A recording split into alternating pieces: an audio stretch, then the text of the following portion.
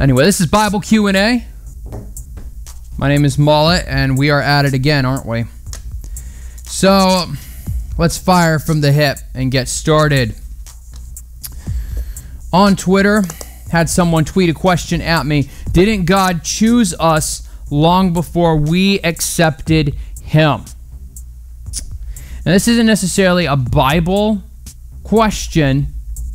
This is a theology question, specifically um, the belief that you know God chose us long before we accepted Him. That's very that's found a lot in uh, in Calvinism and also in uh, in a lot of Protestant denominations. It comes from the idea that was expressed by Martin Luther in the Reformation. And if you don't know what the Reformation is, it is the name of the split that occurred when a very large group of Christians following Martin Luther, former Catholic Church guy, left the Catholic Church due to disagreements that they had about um, the Bible's place in the church and, moreover, how people got saved by Jesus to begin with. And it all rests on this idea of. Um, of salvation or justification by grace alone. And by grace alone means only by God saying that you're saved. In other words, it's not about what you do so much as what God does, if that makes sense. It's not about all the good deeds that you can pile up, it's about all the things that Jesus did specifically and most importantly, dying on the cross for our sins. And it's based on that that we know that we have salvation through Jesus Christ. That's where that comes from. And the idea that God chose us before we chose Him is a thought that comes out of Calvinism, which came out of the Reformation. So you see, so what happened is we have this offshoot and then we have another offshoot. And I'm not saying offshoot in a derogatory manner, I'm just saying that this is the way that it grew out. And there are different degrees to which people believe this. I mean, you know, the theology Calvinism has multiple nuances. Some they're they're usually called points. And you know, usually you'll find like four or five point Calvinists, and I could go into that, and I will if um, if somebody wants to message me for more details. But I'm not going to get into the details too much because it would just take too long. Um, what you need to know essentially is that Calvinists believe a very certain amount of things, but one of them is that uh, that God predestines people to respond to the gospel and say yes. And that's essentially how it works. And that the Holy Spirit acts as the method by which we are saved. So, in other words, salvation becomes a fully supernatural act.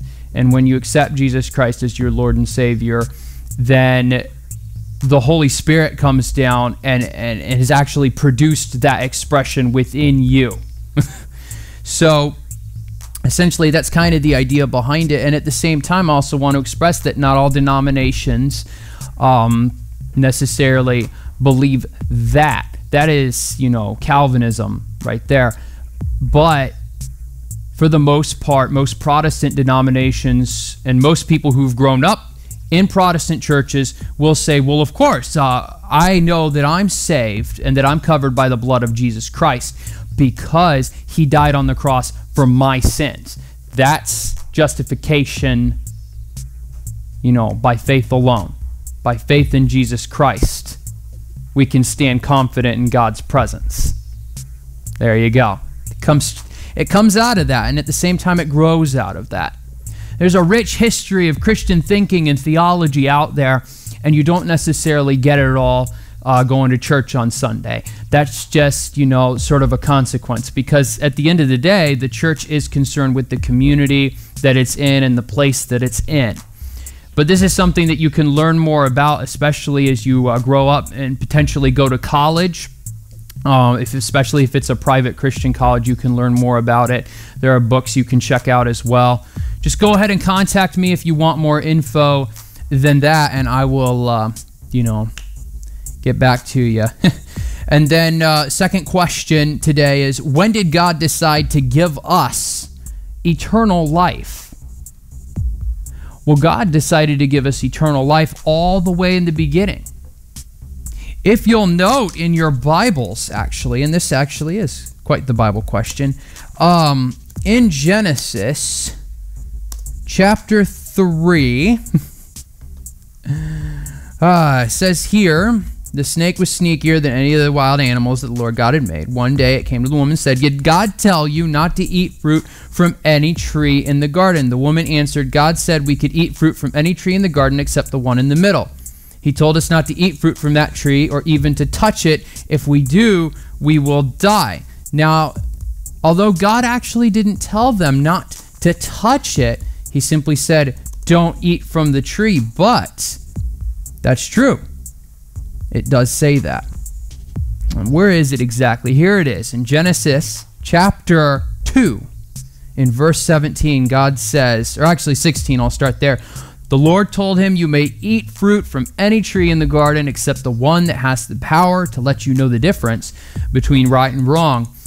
If you eat any fruit from that tree, you will die before the day is over. You will die. So, if they would die only if they ate the fruit of that tree, then obviously that implies that God had no intention of having them in a dying state to begin with. They, you know, and a lot of people would argue that originally humanity never died, that, that we were meant to exist in a permanent way is that rock solid? I don't know. There are some people out there who who who wonder about that, who question it. But to me, it makes more sense to just go ahead and assume that eternal life was part of the package.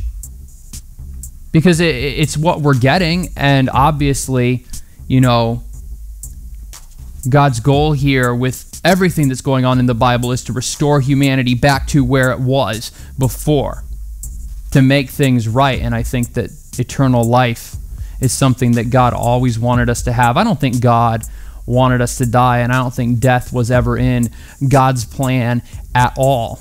I think that death is a consequence of sin. I think that we see that in Genesis, but we also see it again when Paul makes that comment that I've mentioned a lot here on Bible Q&A in Romans, for the wages of sin is death. So I think to answer your question, short, simple, to the point, God decided to give us eternal life in the beginning, but we didn't want it. Ooh. And we didn't. We wanted something else instead. We wanted to control our own destiny, and that's really the message of Genesis more than anything. It's that we wanted to become like God. What does that mean? What does it mean to be like God? Well, God controls everything, He runs the show. We wanted to control our own destinies, our own lives. We wanted to take it. You know, why did Adam and Eve want to take it? I don't know. One reason or another. Just Bible doesn't say too much, but at the end of the day, that was the issue. So, there are two questions answered just for you all. what we got here? I got a message flashing at me. Okay, I don't even know what that's about and what we got in the chat room. I'm going to try and get back into the chat room. If you have any follow up questions, start posting them now. I can always wing them. I normally don't uh, record this, but uh, uh, let's see here. Do we have anything at all? Nope. Doesn't look like it. No follow up questions yet. Well, I'll keep an eye out for those. This has been Bible Q&A. If you have any follow-up questions and you're watching this afterwards, email me at clint at remedylive.com and we'll talk some more. You can also contact me anonymously. All you have to do is go down to more info at the bottom of remedylive.com, click on got a question, fill out your question for the Bible Q&A show, and you're good to go. We got Britt Nicole coming up now with Still That Girl right here on Remedy Live. We chat, we listen, and we love.